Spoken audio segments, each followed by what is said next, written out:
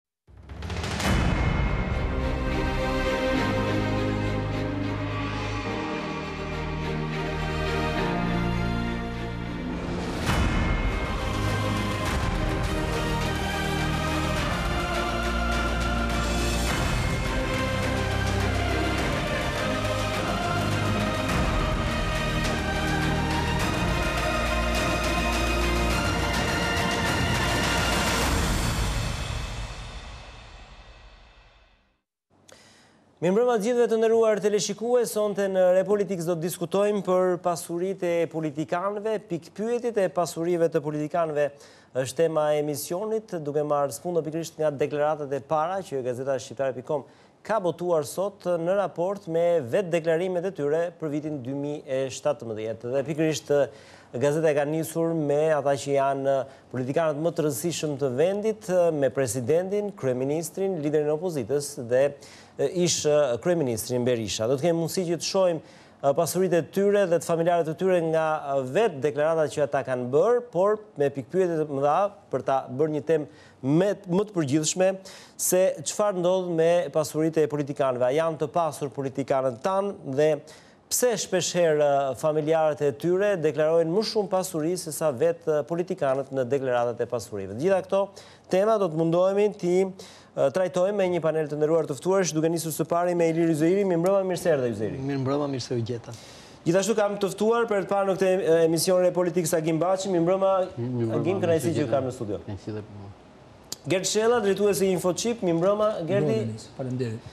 Dhe Fatos Çoçoli, analist ekonomie, mirëmbrëma Fatos, kënaqësi që të kam në studio. Faleminderit për ftesën. Gjithashtu do të jetë me ne edhe gazetari Adriatik Doçi i gazetës Shqiptarja.com. Mirëmbrëma Adriatik.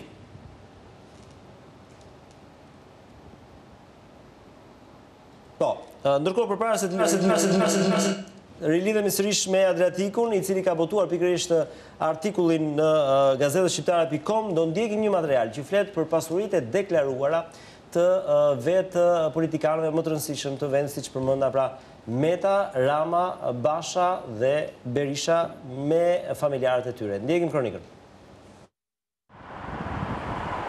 Shqiptarja.com zbulon ekskluzivisht ndryshimet në pasurinë e krerëve më të lartë të shtetit shqiptar gjatë vitit dy mijë e shtatëmbëdhjetë. Presidenti i Republikës Ilir Meta gjatë vitit që lamë pas së bashku me Monika Kryemadhin deklaron hapjen e një llogarie me vlerë njëqind e gjashtëdhjetë mijë euro për shkollimin e fëmijëve. Po gjatë këtij viti, bashkëshortja e presidentit, Monika Kryemadhi, kryetare e LSI-së, ka shitur dy apartamente banimi me sipërfaqe njëqind e një dhe njëqind e gjashtëdhjetë e gjashtë metra katrorë në vlerat përkatëse pesëdhjetë e pesë mijë e pesëqind e pesëdhjetë dhe pesëdhjetë e tetë mijë e tetëqind e gjashtë euro. Kujtojmë që gjatë vitit dy mijë e gjashtëmbëdhjetë, kryetarja e LSI ka shitur katër apartamente të tjera me vlerë treqind e dyzet e pesë mijë euro. gjashtëdhjetë mijë e nëntëqind e pesëdhjetë e tetë euro, tetëdhjetë e pesë mijë e tetëdhjetë e tetë euro dhe pesëdhjetë e shtatë mijë e tetëqind e tetëdhjetë e pesë euro. Sa i takon të ardhurave për vitin dy mijë e shtatëmbëdhjetë, Ilir Meta deklaron nëntëqind e tetëdhjetë e dy mijë e tetëqind e tridhjetë lekë pagën si kryetar Kuvendi dhe më pas nëntëqind e tetëdhjetë e dy mijë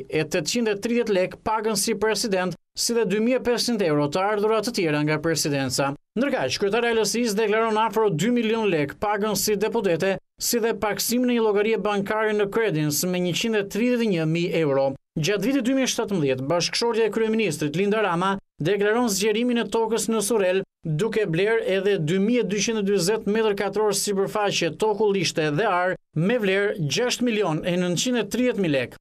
Zgjerimi është bërë për arsye funksionale në truallin ku është ndërtuar shtëpia. Ndërkaq, kryeministri Rama ka shitur për pesëdhjetë milionë lekë të vjetra apartamentin e banimit parafabrikat në Tiranë me sipërfaqe pesëdhjetë e nëntë metra katrorë. Gjatë vitit që lamë pas, Rama deklaron 2 milion 15.199 lek të ardhura nga paga si kryeministër, 51.000 lek honorare të tjera, si edhe 3 milion 894.352 lek të ardhura nga krijimtaria artistike. Kryeministri vijon të shlyejë një kredi me vlerë 80.000 euro me afat 10 vjet, aktivizuar në vitin 2013, ku detyrimi i mbetur është njëzet e gjashtë mijë e katërqind e gjashtëdhjetë euro. Nga ana tjetër, Linda Rama gjatë vitit dy mijë e shtatëmbëdhjetë deklaron të ardhura nga puna si eksperte një milion tetëqind e dyzet e nëntë mijë e nëntëqind e tetëdhjetë e tre lekë, të ardhura nga honoraret një milion dyqind e dyzet e një mijë e dyqind e shtatëdhjetë e gjashtë lekë Qira nga apartamentet, dy milionë shtatëqind e dymbëdhjetë mijë njëqind e tetëdhjetë lekë dhe interesa bankare, dy mijë e treqind e nëntëdhjetë e katër lekë. Ndërkaq, i biri i kryeministrit Rama, Gregor Rama, rezulton se jeton me qira, si dhe se gjatë vitit dy mijë e shtatëmbëdhjetë ka marrë katërqind mijë lekë të vjetra borxh. Nga shitja e vlerave të artit, Gregori, gjatë vitit dy mijë e shtatëmbëdhjetë, ka fituar njëzet e tetë mijë euro. Kryetari i Partisë Demokratike Lulzim Basha, gjatë vitit dy mijë e shtatëmbëdhjetë deklaron vetëm pagën si deputet, katërqind e tridhjetë e gjashtë mijë e pesëqind e pesëdhjetë e gjashtë lekë, si dhe të ardhura si kryetar opozite, në vlerën nëntëqind e njëzet e tre mijë e dyqind lekë. Ndërkaq, bashkëshortja e kryetarit të opozitës deklaron nëntëmbëdhjetë mijë e dyqind e dyzet euro të ardhura si drejtuese programesh. Para se të hynte në politikë, Lulzim Basha ka deklaruar një shtëpi banimi në Holandë me vlerë pesëqind e dhjetë mijë gulden, apartament në Tiranë në vlerën dyqind e pesë mijë dollarë, apartament në Durrës në vlerën tridhjetë e tre mijë euro, si dhe bashkëpronar në tre pasuri të tjera të paluajtshme. Gjithashtu, para se të bëhej pjesë e politikës, Lulzim Basha ka deklaruar makinë me vlerë shtatëdhjetë e dy mijë euro Depozitë bankare, pesëdhjetë e dy mijë dollarë. Depozitë bankare, tetëdhjetë e një mijë euro. Pikturë, gjashtë mijë e pesëqind euro. Orë dore në vlerën pesë mijë e dyqind euro. Orë dore në vlerën katër mijë e pesëqind euro. Unazë diamanti në vlerën njëmbëdhjetë mijë e pesëqind euro dhe servis porcelani në vlerën gjashtë mijë e tetëqind euro. Kjo pra është kronika që flet për pasuritë e politikanëve më të rëndësishëm, në gazeta shqiptare.com, nesër do të vazhdojmë me publikimin e të tjera pasurive edhe nga figura të tjera të rëndësishme të vendit. Do doja që përpara se të nisim bisedën me të ftuarit, të lidhem edhe njëherë me kolegun Adriatik Doçi për të kuptuar se çfarë ka ndodhur realisht në raport me vitet e kaluara me pasuritë e këtyre katër politikanëve të rëndësishëm. Adriatik më dëgjon? Po, mirëmbrëma.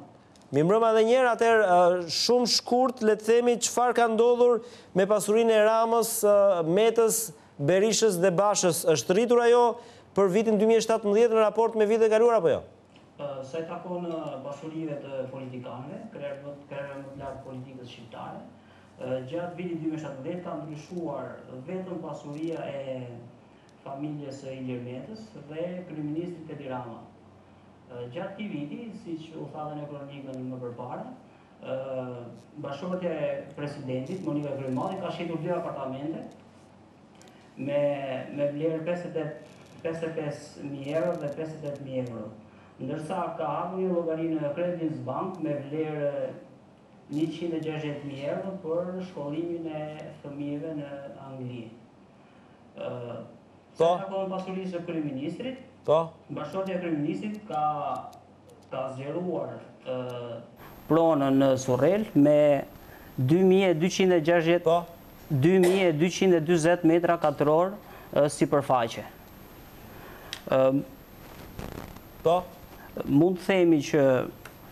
Nuk kemi ndonjë ndryshim në pasurinë e kryetarit të opozitës, po. Lulzim Basha, gjithashtu nuk kemi asnjë ndryshim në pasurinë e ish-kryeministrit Sali Berisha.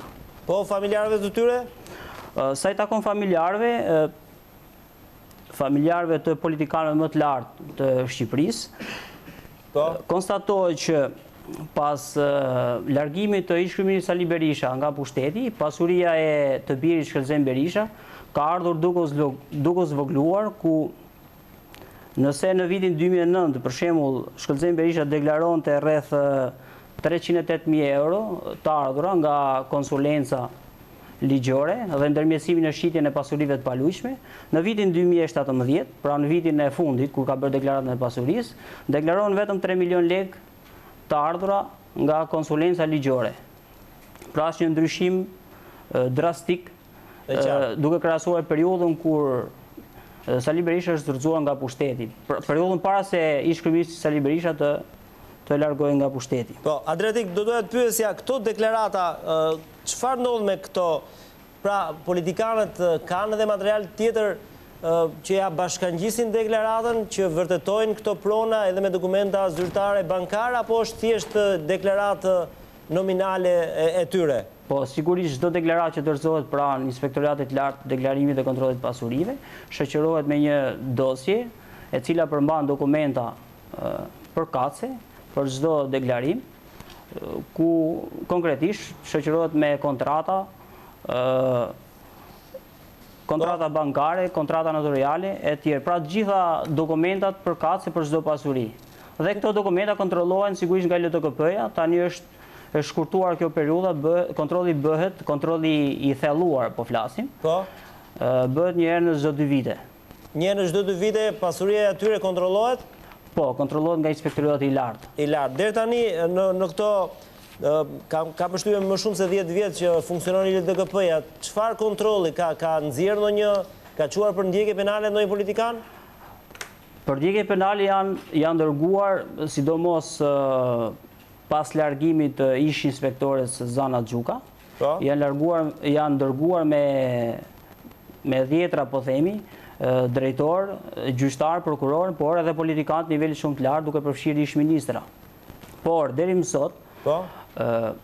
organet gjykata ka dënuar vetëm një prokuror dhe një vetëm një gjyqtar dhe një politikan për fshehje pasurie. Konkretisht është dënuar ish deputeti Mark Frroku, për fshehje pasurie, dhe ish gjyqtari, tani i shkarkuar, Qani Hasa, gjithashtu për fshehje pasurie. Pra vetëm, jo, mos merrem me gjyqtarët sot, pra kemi vetëm një politikan të të dënuar për fshehje pasurie. Po, gjatë njëzet e shtatë viteve. Gjatë gjithë trajektores së pluralizmit shqiptar, është dënuar vetëm një politikan për fshehje pasurie, ndërkohë që siç kemi raportuar në kohë të ndryshme, pasuria e disa, e disa politikanëve është marramendëse në raport me të ardhurat e ligjshme të deklaruara. E qartë. Dhe doja të, po? nëse keni kohë, po, patjetër. Doja të ndalesha tek disa prej justifikimeve Po, si e justifikojnë, se edhe kjo është një pyetje interesante, si. Që bëhen zakonisht nga politikanët dhe njerëzit e drejtësisë. Po. Për të justifikuar pra pasurinë e deklaruar. Po, fokusohemi tek njerëzit e politikës, jo të drejtësisë. Po. Si e justifikojnë politikanët pasurinë që deklarojnë? Kryesisht, justifikohet me kredi bankare me afat deri në tridhjetë e pesë vite. Po. Pra marrin kredi në shuma shumë të mëdha nëpër banka. Po. Për të justifikuar blerjen e pasurive deri në qindra mijëra euro. dyshohet gjithmonë se politikani i ka këto para, po që janë para jo të ligjshme, ndërkohë që merr kredin për të justifikuar blerjen e pasurisë së paluajtshme. Po? Një tjetër justifikim që me cilin operojnë shpesh njerëzit e politikës, është të ardhurat nga emigracioni, duke përfshirë sigurisht atë 10 vjeçarin e parë të pluralizmit, nga viti 90 deri në vitin 2000. Po? Gjithashtu, tek justifikimet përfshihet huaja pa interes në shuma të konsiderueshme nga të afërmit e tyre. Përfshihen paratë dhuratë nga gjyshet, vjerra, vjerri, kunatat etj. Po. Blerja e tokës, përfshihet gjithashtu blerja e pronave me çmim shumë të lirë, me shumë, shumë, me çmim shumë të lirë, në zona të ndryshme të Tiranës. Këtë tokë, tokën pastaj e rivlerësojnë dhe e shesin me disa herë më shumë, deri në 20 herë më shumë, nga 10 deri 20 herë më shumë. Pra e rivlerësojnë dhe e shesin me një çmim shumë të lartë. Po. Gjithashtu deklarojnë pasuri nga trashgimnia, kryesisht nga sigurisht nga prindërit, ku deklarojnë shtëpi, para, prona, dhe pasuri të tjera të lëna trashëgim. Një tjetër mënyrë është e kamuflimit të pasurisë, mund themi janë bashkëshortet dhe bashkëjetueset.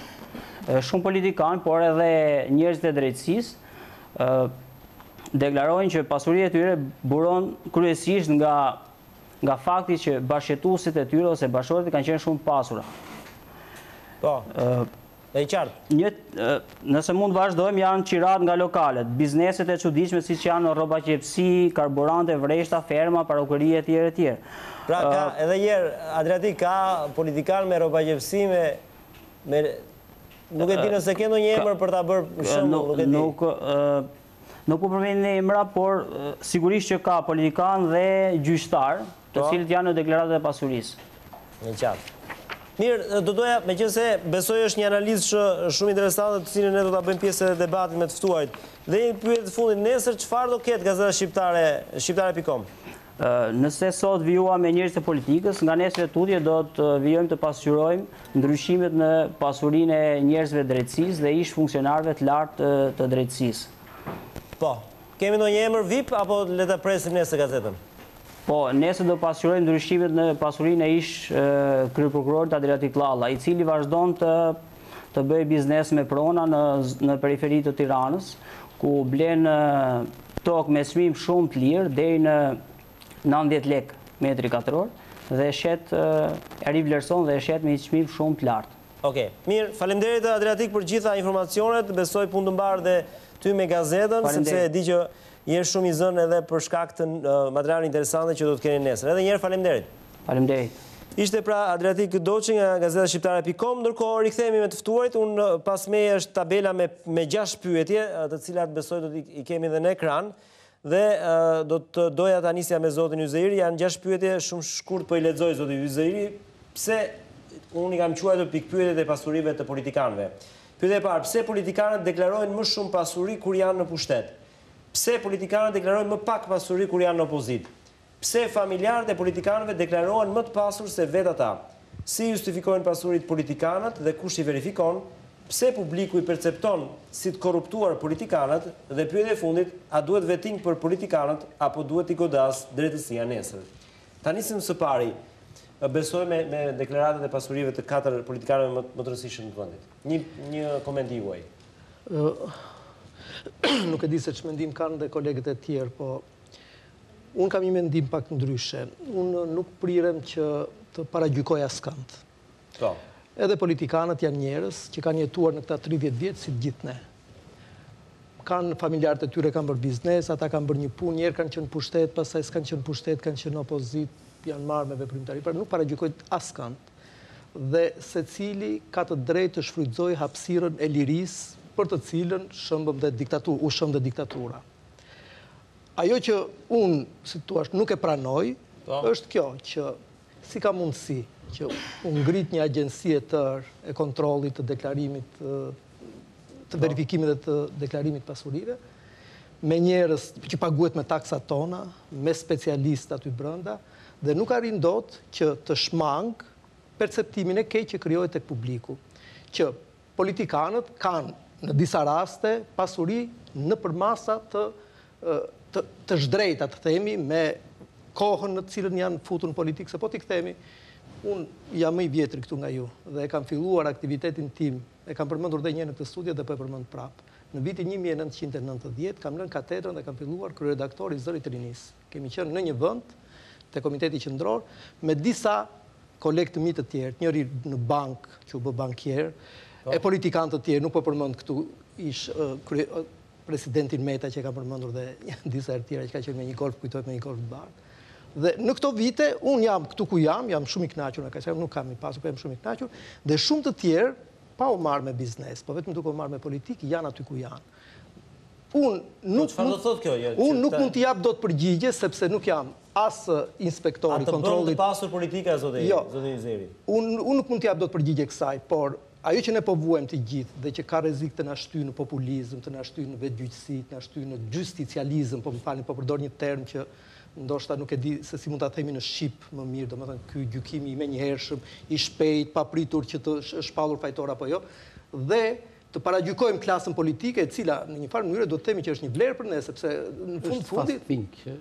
Ose fasting, fastingu që quajnë. Na rrezikon të gjithëve, por... Pse, po na ndodh gjithë kjo, sepse nuk, ne nuk kemi institucione kushinet, pra nuk kemi institucione të tilla që çdo vit të dalë dikush dhe të na shpjegojë, me unë, ne të pesë jemi këtu, nuk mund ta shpjegojmë dot këtë. Ngërç. Duhet të dalë një specialist dhe të na thotë, ky njeri që ka vënë kaq pasuri e ka vënë se, në këtë vit ka bërë këtë biznes dhe është i ligjshëm apo është i paligjshëm. Po duhet të na tregojë dikush tjetër, në mënyrë që. Politikanët s'kanë biznese zoti Yzeiri, politikanët kanë vetëm pagat e tyre. Shiko, ato, unë për ta përfunduar, justifikimet që ata japin aty janë të gjitha të ligjshme. Se ndryshe ai s'kishte për t'i shkruar. Janë të gjitha të ligjshme. Tashti, janë organe të tjera që duhet që pas atyre justifikimeve, investigojnë, pastaj t'i thotë, jo, t'i thotë miku im i dashur, vjehrra jote që të ka falur ty njëqind mijë euro, nuk ka qenë e pasur. Domethënë, po këtë duhet ta thotë dikush tjetër, ne nuk duhet ta lëmë që të rrëshqasim këtë merak kam, që të rrëshqasim në në populizëm apo në xhusticializëm. Për të vazhduar merakun që ka Iliri, në fakt vlen të themi një gjë në fillim që ne duhet të shmangim rrugët që do të çojnë në urrejtje ndaj atyre që kanë. Po. Ky komb në vitin 40, 45, 44, 45, është ndëshkuar njëherë nga urrejtja ndaj atyre që dishin dhe që kishin. Po. Edhe e kemi provuar se ç'do të thotë të urresh ata që kanë. Në, dhe kështu që ne duhet të shmangim nga ai fastingu, nga mendimi emocional, mendimi i shpejtë, sepse po dëgjoja ato shifrat dhe unë siç siç e thua aty, thua këto janë marramendse. Po duhet me po parë një lloj historiku. Jo, jo se në raport, jo, jo në raport. Po pse, jo, pse të pse kaq miliona, kaq miliona, kaq miliona, kaq miliona, po duhet parë. Krijohet dhe nga ato shifra. Ne s'duhet, ne s'duhet e, ne s'duhet të shkojmë te perceptimi kështu. Ajo që thotë Iliri është shumë e drejtë. Do të thotë që në qoftë se nesër pasnesër dalin 5 gjyqtarë, 6 gjyqtarë, siç kanë filluar të dalin. Dalin dhe 2-3 politikanë. Njeriu i parë që duhet çuar në ndëshkim, domethënë dhe institucioni i parë është kontrolli i pasurive.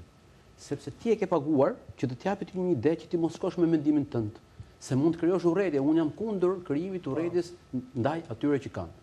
nuk e nuk arrit ta perceptoj dhe jam totalisht domethënë kundër frymës që mund të krijojmë gjithë ne dhe gjithë media ndaj atyre që ka. Unë ndaj është shumë e rëndësishme ta ndajmë këtë gjë.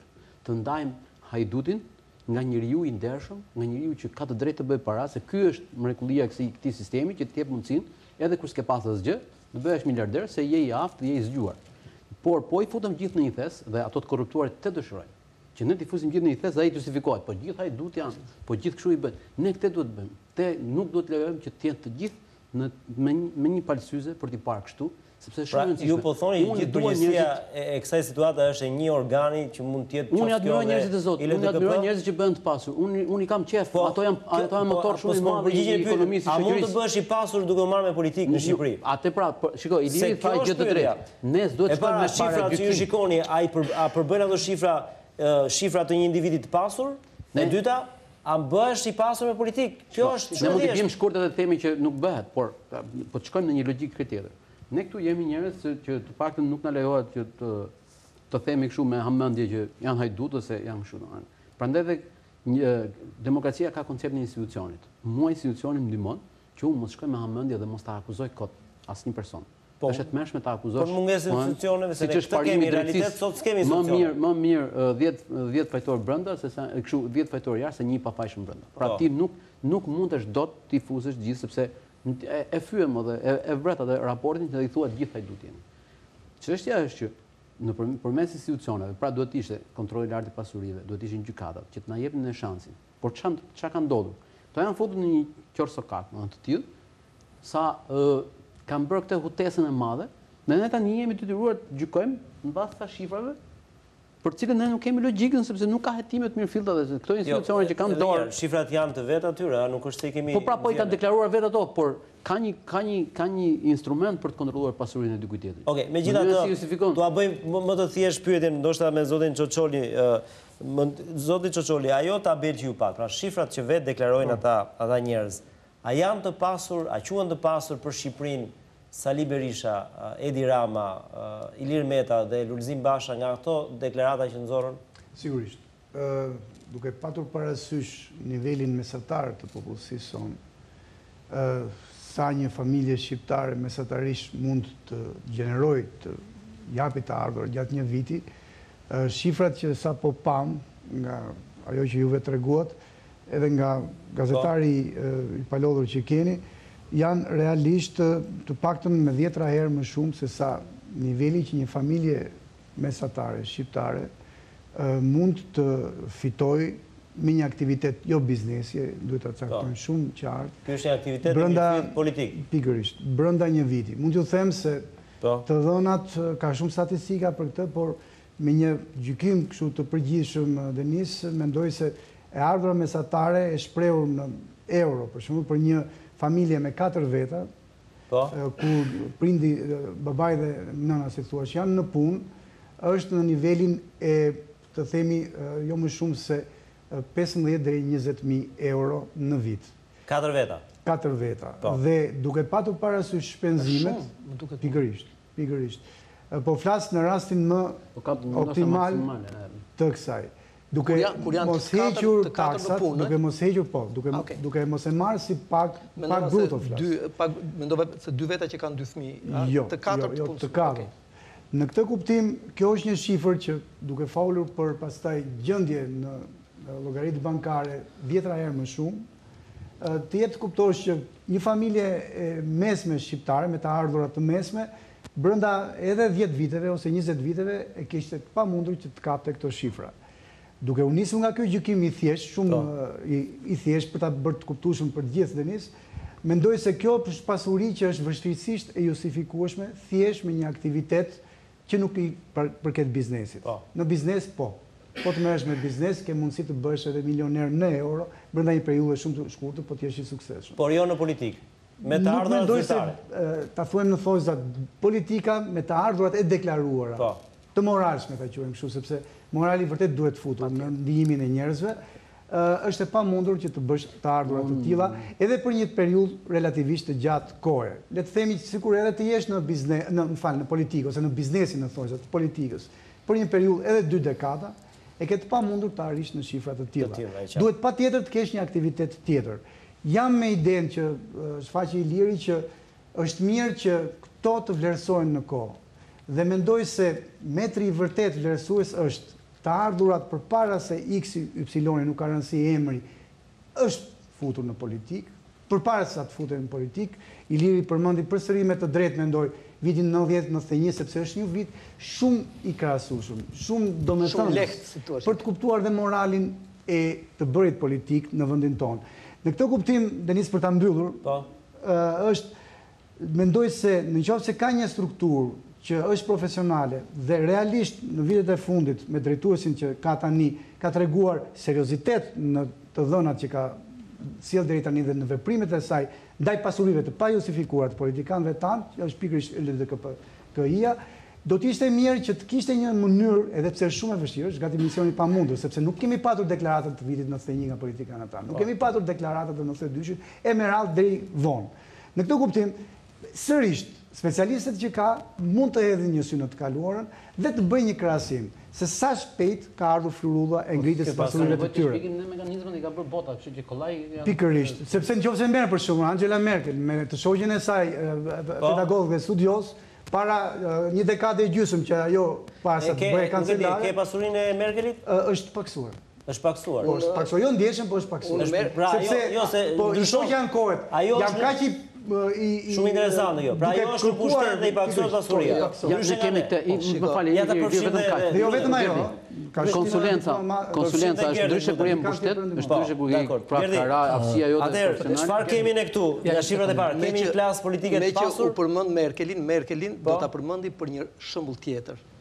Jo, kjo është shumë jo, jo, shumë është shumë interesant, do të ilustrojë diçka tjetër, jo, jo. Se këta politikanë jo, jo, deklarojnë më shumë pas Merkelin ku pushtet. Ilustrojë diçka tjetër, po okay. do t'ju them pas. Faleminderit. Ë ka pra unë do mundohem të bëj një si thua sintezë të asaj çfarë kolegët sollën me shumë të drejtë sepse janë argumenta solidë. Rrethana që me të drejtë Iliri e solli me shumë finesë në tryezën e debatit që në një fillesë, pra në një start të njëjtë, shokë të përbashkët kanë krijuar me kalimin e viteve diferencë në pasurinë e tyre, dikush është në politikë, dikush nuk është në politikë, është një argument i fortë i cili flet në vetvete. Nga ana tjetër, po. duhet që me shumë të drejtë, edhe zoti Çoçoli e përmendi, unë do t'i shtoja vetëm faktit, vetëm rrethanën që do të ishte mirë mua nuk më rezulton, po kjo është një perceptim i imi personal, nuk ka të njëjtin trend rritës në përgjithësi pasuria e shqiptarëve, Edhe sikur të kishim një baseline verifikues, pra një, si thua, nivel zero nga i cili ne fillojmë matjet e të dyja sistemeve, me trendin rritës që provojnë, le të themi, autoritetet e politikës apo politikanët. Të dyja këto janë argumente të cilat ne dashur pa dashur na shpien në konkluzionin që politika pasuron. Ajo që unë kam frikë, dhe ndoshta dua ta shtoj për debat. Pra edhe njëherë, që të merresh me politikë është është biznes i mirë për t'u pasuruar, le ta quajmë biznes në sensin e kolegët janë po. të mjaftueshëm për të dalë në një konkluzion solid, logjik që nëse nuk merremi me politikë, kemi uh, si thua, dizavantazhim në raport me trendin e pasurimit, krahasimisht me dikë që merret me politikë dhe nga ana tjetër, në qoftë se marrim nivelin e përgjithshëm të, le të themi, uh, uh, shpejtësisë me të cilët familjet jo pra familjet e thjeshta të shqiptarëve shtojnë pasurinë e tyre, kjo nuk përkon me trendin shumë të lartë, pra shumë shumë dinamik rritës të shtimit të pasurisë të familjeve të politikanëve. Nga ana tjetër, kemi edhe një rethanë që unë dyshoj, pra hedh një dyshim, nuk kam konkluzione, dhe këtu unë dua ta stigmatizoj disi rolin e HIDA-s, domethënë rolin e Inspektoratit të Lartë Deklarimit të Pasurive, sepse kam përshtypjen që çfarë deklarohet në institucionet tona kombëtare, Është vetëm maja e ajsbergut e atyre çka ne duhet të përgatitim vetveten për të marrë në vlerësim krahasimisht me atë që është pasuri e akumuluar nga klasa politike. Ka sot dyshime të arsyeshme dhe diskutime të cilat kanë detyruar në ndonjë rast dhe vetë Bashkimin Evropian të ndërmarrë jo më shumë se përpara tre javësh direktivën që të mos ketë anonimitet më në ato që quhen parajsa fiskale. Pra nuk do të ketë më me direktivë të Bashkimit Evropian deri në vitin dy mijë e njëzet e një anonimitet në llogaritë, madje kjo më duket se ka ndodhur qysh vjet në për sa i takon llogarive në.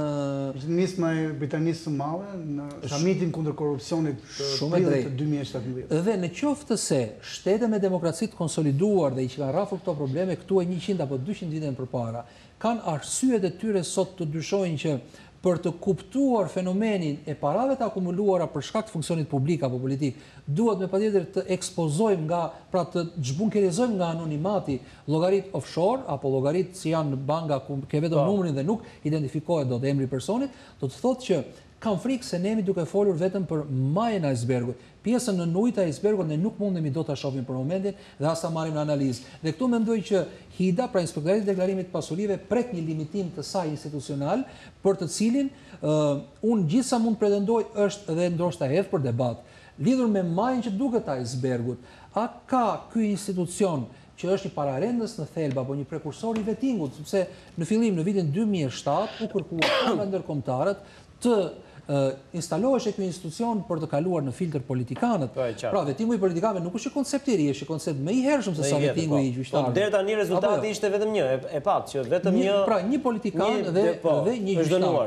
Që do të thotë që unë mendoj këtu ka vend për të parë me sy kritik edhe rolin e këtij institucioni, Po pa kaluar tek ky tek i nuk është kontabël i pasurive të politikanëve. Unë në gjykimin tim mendoj që funksioni themelor i këtij institucioni është që të përllogarisë atë që përbën marxhin risku dhe që duhet ekspozuar. Një fakt të tillë unë nuk e kam hasur nga ky institucion. Tani ne jo se pas kësaj që ka ndodhur me gjyqtarët që nuk e kanë justifikuar pasurinë, o kemi gjyq politik ndaj tyre, ose ILDKP-ja është e paaftë, sepse kemi tre pesë raste që po shohim ato, Tre kanë dalë të pajustifikuar. Pra sa qenë nga ky numër në probabilitet? Dua, jo, dua, mo, mos ta kalojmë vetëm tek sepse të bëjmë pak këtë analizë zoti Yzeiri, ju besoj i ndiqni deklaratat e politikanëve dhe atë që thotë Shella që ILDKP duhet të përcaktojë atë marzh risku nga këto deklarata. Këto deklarata juve ju krijojnë perceptimin që kemi të bëjmë me politikanë të pasur, thjesht duke lexuar? Shiko, nuk ka ne, nuk ka nevojë që të që të mendohesh. Ata janë, në krahasim me ashtu siç e tha. Atëherë pyetja është pse janë të pasur? Siç e tha edhe Kur tha Çoçoli që me politikë nuk bëhesh i pasur. Në krahasim me trendin që ka, apo siç e tha dhe Gerti dhe Gini po. këtu që në krahasim me trendin që ka ekonomia shqiptare, mundësitë që ka në Shqipëri për të bërë biznes dhe për domethënë për të fituar një familje normale, natyrisht që ata janë të janë të pasur dhe janë shumë të pasur. Ajo që më shqetëson mua është kjo. Shiko, u përmend këtu pak më përpara Merkeli. Ne, me sa duket, ne deri tani na mungon karakteri etik dhe moral i një, si të thuash, përfaqësuesi të politikës shqiptare. Unë kam mbetur i mrekulluar me Merkelin për një arsye tjetër. Kjo grua, që është njeriu më i fuqishëm i botës, që kur ka ardhur... I Europës, jo i botës, se bota është pak më e madhe. E Europës, ka pasur rase që edhe... Konkuronte. Konkuronte për të qënë aty, aty pranë. Jeton në një apartament 70 metër katror, është zgjedhur në 4 mandate, dhe jeton në po atë apartament me të shoqin. E kam, më duket nëse e gjejmë më pas pra, apartamente ku jeton. Ajo që mua më mrekullon në këtë rast po. është kjo. Kjo femër Jo se nuk ka mundësi që të marrë një apartament më të madh, dhe nuk i thotë asnjëri asnjë gjë. Po. Por në, si të thuash, konceptin e saj të jetës. Integritetin e saj. Integritetin e saj. Ajo e kupton dhe të gjithë në Gjermani i thonë mutër, i thonë nëna.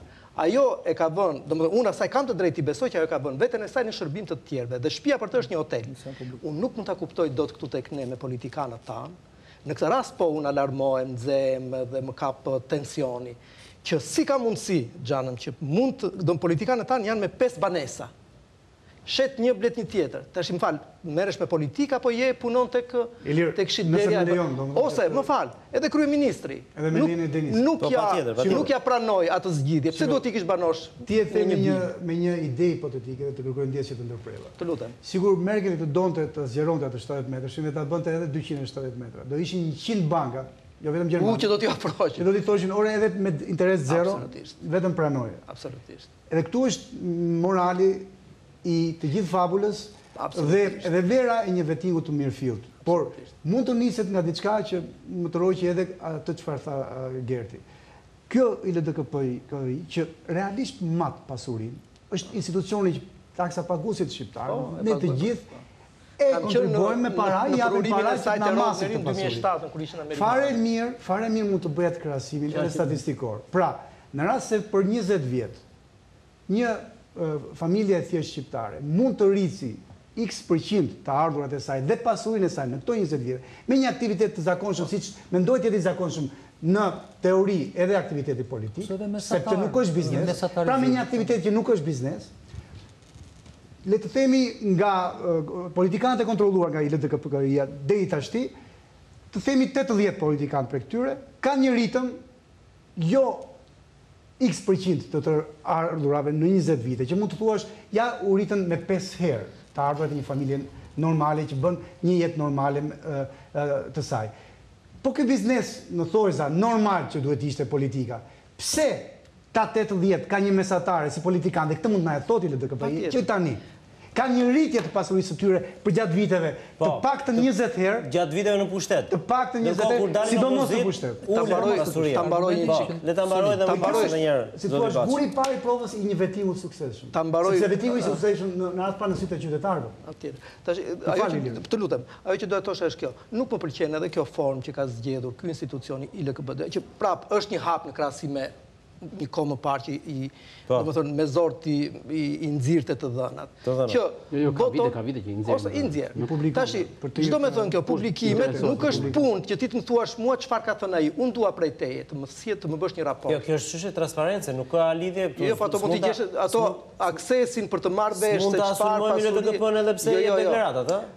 Jo, jo, nuk është kjo puna e saj. Nuk i themi të bëjë më shumë, të bëjë raporte. Ajo që duhet, ajo duhet të bëjë një raport dhe ajo duhet të investigojë. Dhe, në qoftë se mbani mend, edhe ne gazetarët, nuk flas ato mediat e mëdha, televizioni publik për shembull që ka mundësi dhe ka mjete financiare.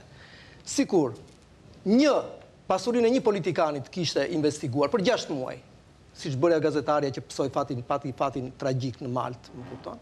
Sikur një politikan të kishte ndjekur. nga fillimi, nga erdhi deri këtu, me ndihmën e këtij institucioni. Dhe sot ne të diskutonim, se është tjetër gjë kur diskuton mbi deklaratën që ai ka bërë dhe me perceptim dhe tjetër gjë kur ti diskuton mbi një fakt që është zbuluar. Mbi evidencat. Ti ke zbuluar një fakt sot që Ilir Yzeiri. Më fal, maja e ajsbergut është shumë e mbrojtur, e the edhe vetë. Po. Ilir Yzeiri, Ilir Yzeiri ka deklaruar këtë, po s'është e vërtetë, sepse ja ku u zbulua kjo dhe sot kishim të drejtë. Me konsulencën më të mirë. Po. Zoti Baçi, nëse biem dakord që të gjithë politikanët ose politikanët më të rëndësishëm janë të pasur, atëherë pyetja është, pra kemi një klasë të pasurish që drejton vendin, si majtas edhe djathtas, djathtas. A ndikon kjo qoftë edhe në mënyrën se si ata qeverisin? Klasë të pasurish mund të kemi në gjithë botën që drejton vendet. Çështja është kur janë bërë të pasur dhe me çfarë janë bërë të pasur. Kjo është çështja.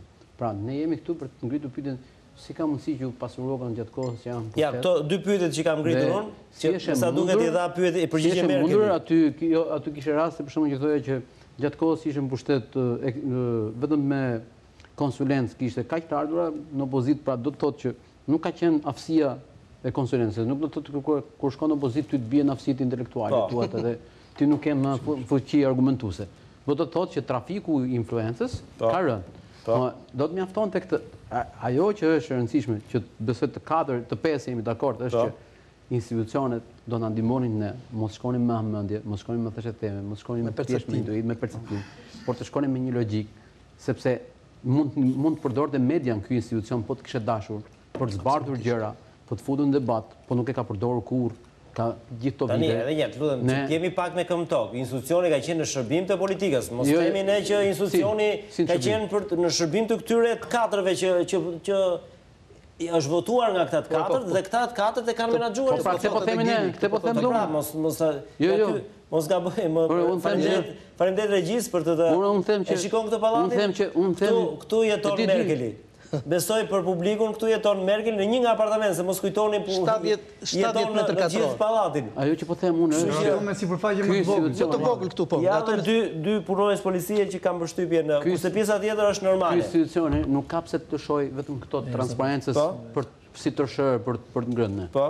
Por duhet të shohë mekanizma se si matet një pasuri dhe si ka ardhur që ne të flasim konkretisht që kjo pasuri është e mundur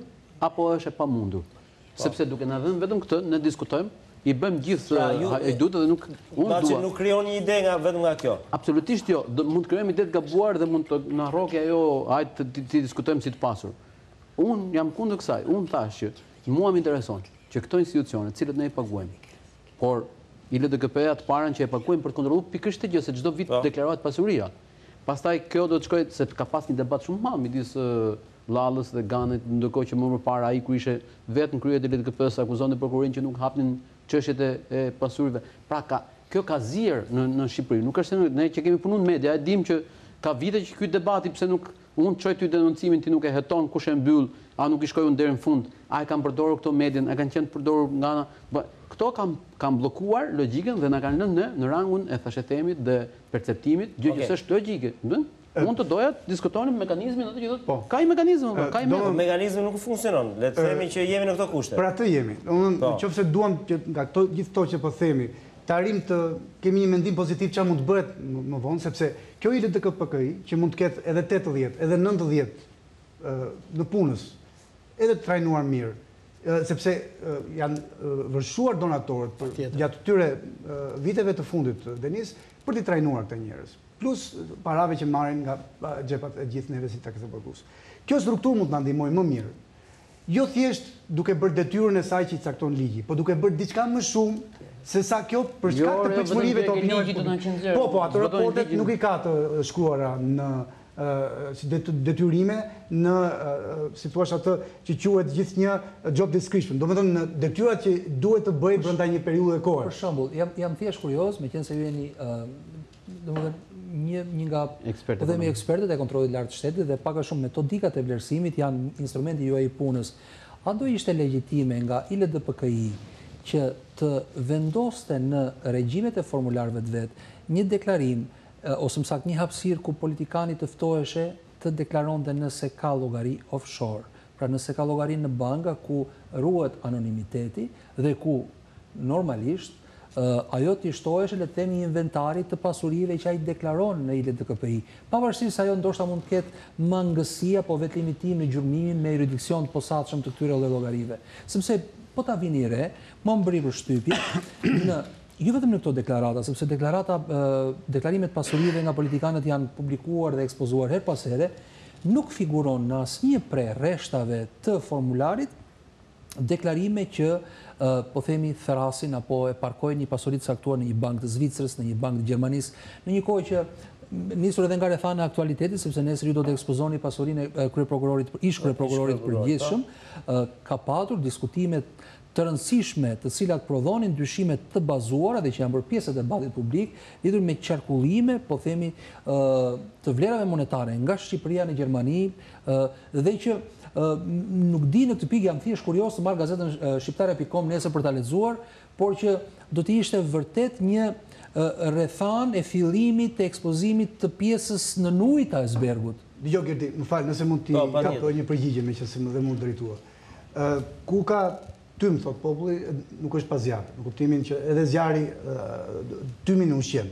Në këtë kuptim, në rast se flasim për krizën e Qipros në vitin dy mijë e dymbëdhjetë dhe ku, si të thuash, struktura offshore përtej detit ideale në atë bllok, domethënë, ishte krijuar edhe për politikanët e korruptuar apo abuzivë të vendeve të Ballkanit Jugperëndimor, Aty mund të ishte pikërisht zanafilla që ILDKPKI-ja të çonte ndoshta edhe dy punonjës të vet. Ne kërkuam atëherë qoftë me artikuj, qoftë me, domethënë, dëshira që patëm që edhe dy gazetarë investigativë mund të ishin media jonë ta financonte, gjë që nuk ndodhi. Po ama ILDKPKI-ja mund ta bënte. Dhe ideja jote që të futet brenda në këtë formularin e tanishëm të deklarimit të pasurive dhe kjo pyetje është diçka shumë e mirë. Unë po them do të mjaftonte Fatos po. se unë jam në thelb jam gazetar, ne gjithë jemi gazetarë. Edhe sikur të kishte një përmasë obligative deklarimi i destinacioneve të udhëtimit të politikanëve, sepse Shiko, Shella, megjithatë, se po shikon, po shikon një pasuri marramendëse. Po unë them, nuk është e mjaftueshme për ta vënë Një politikan me shpatulla pas muri vetëm për pasurinë që deklaron këtu në Shqipëri, mos të merremi me ato që ka në ishujt. Unë i bashkohem Agim Baçit, në këto deklarime që ju keni publikuar, unë nuk shoh përmasën apo konturin e një skandali. Pra këto janë deklarime, janë deklarime. Pra ju ju bën përshtypje ajo që ka ata zonë. Jo, nuk do, më fal, do po të kundërshtoj. Pse do ishte zanafillë e skandalit? Në rast se ILDKPI-ja, do jepte, më fal Gerti. Do jepte nga tetëdhjetë politikanë që po e marr si një shifër, domethënë që mund të ishte e krahasueshme dhe ata i kanë të dhënat ndërkohë. Mjafton t'i tërheqin, Gimi, nga nga nga dosja, pikërisht. Atëherë, në rast se këta tetëdhjetë politikanë i shikojnë atë që ke bërë ti në mënyrë shumë të zgjuar dhe të falënderoj për këtë, kur kanë qenë në pushtet dhe kur kanë qenë në opozitë. Dhe të jepnin një pasqyrë të thjeshtë, nga këta tetëdhjetë, politikanë. Tridhjetë e pesë të tyre, kur kanë qenë në opozitë, e kanë patur të shtuar pasurinë me pesëmbëdhjetë për qind. Në rastin më të mirë të flasim. Sepse dëgjuam edhe që ka edhe ulje. Modeli i Merkel ndërkohë që ndërkohë që ndërkohë që se ka shpenzuar më shumë. Në periudhën kur kanë qenë në pozitë, 10 vjet, 8 vjet, 5 vjet, 4 vjet, e kanë patur të rritur me herë. Çfarë ka ndodhur? Po a nuk do të ishte pikërisht kjo një masë e vlerësimit të opinionit publik pa bërë gjueti shtrigash. Jam me shqetësimin e parë të Agimit. Nuk po flasim këtu për persona të veçanta, po për idenë për të thënë që kjo pasuri është tërësisht abuzive. Por ama, por ama, një ngritje, një ngritje vetingu, qoftë edhe